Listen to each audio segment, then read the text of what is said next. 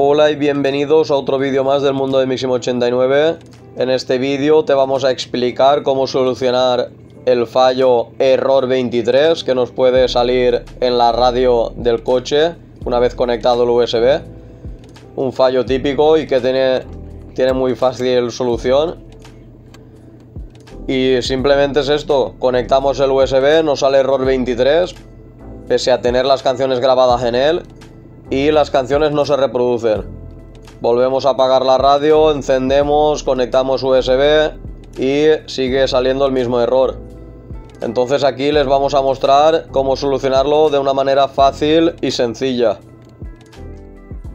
Una vez hemos desconectado el USB de la radio del coche, lo que tendremos que hacer es conectar el USB al ordenador para darle formato. En este caso tenemos que acceder al menú directo del USB una vez conectado y pulsar con el botón derecho encima del mismo icono del USB para acceder a darle formato directo. En este caso pone formatear.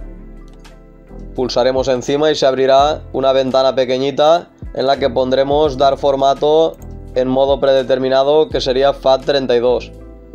Le pondríamos aceptar para dar formato.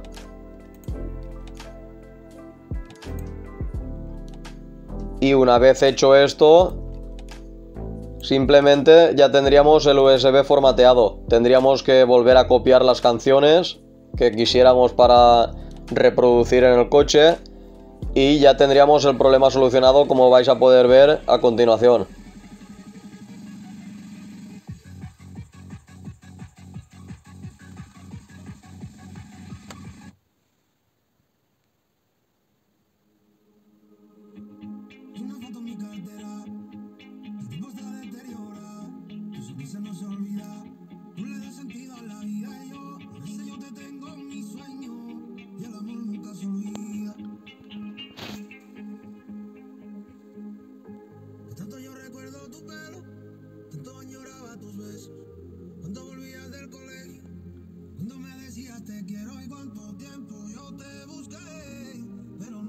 Así es que nada, espero que les haya gustado. Un saludo.